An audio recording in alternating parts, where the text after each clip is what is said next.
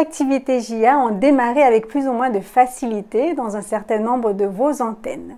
Aussi, nous vous encourageons, vous animateurs, à inviter vos jeunes à revenir dans leurs églises pour vivre ensemble de nouvelles belles aventures cette année. Bien entendu, les activités doivent se dérouler selon le protocole établi dans votre département.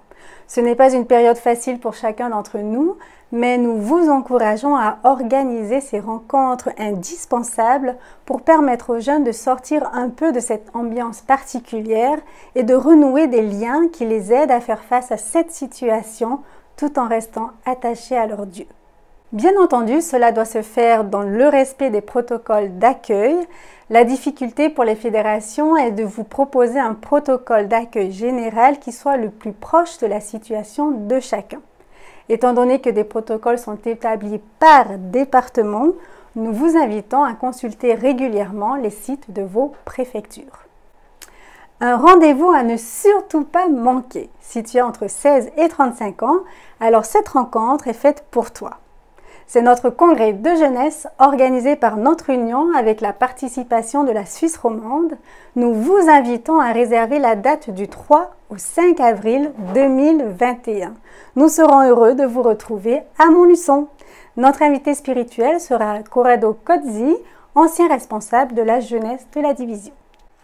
Tu veux donner un sens à tes choix de vie, alors note tout de suite cette date. Le 24 octobre prochain aura lieu le premier amicus organisé par la FFJAS en direct de Toulouse sur Facebook et YouTube.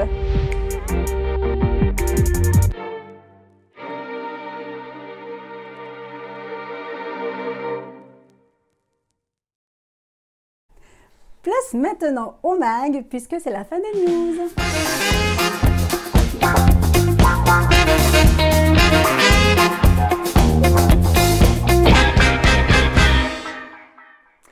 Bienvenue dans notre rubrique Le MAG. Aujourd'hui, nous aurons la joie d'accueillir l'INSEE qui nous présente un sujet très important dans notre société, comment communiquer. Alors c'est parti et je vous dis à tout à l'heure. Quel est le lien entre communication et illusion? Souvent des personnes ont peur de s'exprimer parce qu'elles pensent que ça va les aider à éviter le conflit ou à ne pas faire de à quelqu'un. Elles ont le sentiment de ne pas être comprises, écoutées ou que ça ne servirait à rien. Et puis même, par moments, elles pensent qu'on devrait deviner ce qu'elles ont dans la tête. Le fameux il ou elle aurait dû savoir.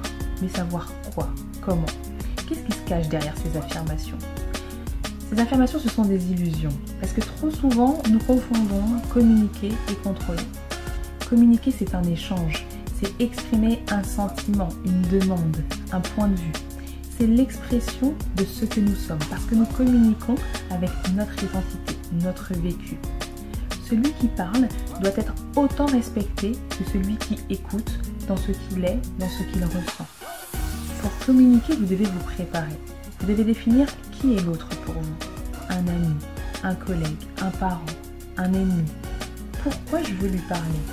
Pour le convaincre, pour m'exprimer, apprendre, l'aider, le changer?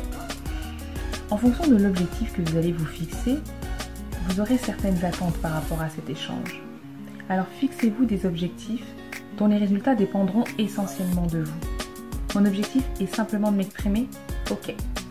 Mon objectif est de pousser l'autre à changer. Non, ça ne peut pas fonctionner comme ça. Choisissez votre moment. C'est pas parce que vous avez envie de communiquer que l'autre doit écouter. Le seul contrôle que vous avez, c'est sur ce que vous allez dire et comment vous allez le dire. Parlez des faits, de votre ressenti. Précisez votre demande. Il n'y a pas de place pour l'interprétation. Soyez clair. Vous n'avez aucun contrôle sur comment l'autre va réagir. On ne peut pas toujours lui faire plaisir il pourra être agacé, il pourra être fermé ou réceptif, surpris, peiné. Mais ce n'est pas à vous de lui dicter ce qu'il doit ressentir ou ce qu'il doit vous répondre. L'autre a aussi des choses à dire. Écoutez-le. C'est un échange, ne l'oubliez pas. Si vous n'êtes pas prêt à entendre ce que l'autre a à dire en positif ou en négatif, c'est que vous n'étiez pas là pour communiquer. Voyez la communication comme un sport. Il faut s'entraîner, mettre dans un bon état d'esprit pour atteindre son objectif. Il va falloir faire des efforts, écouter, analyser, observer. Plus vous aurez d'informations, mieux vous pourrez réagir. Faites preuve d'endurance. Ce n'est pas un sprint. Prenez le temps de comprendre qu'est-ce qui se passe pour vous, qu'est-ce qui se passe pour l'autre durant cet échange. Et profitez des bénéfices d'une bonne communication. Moins de rancœur, moins de stress, moins de non-dits, moins de frustration, plus de tranquillité d'esprit et surtout des relations plus saines avec votre entourage. Que demander de plus?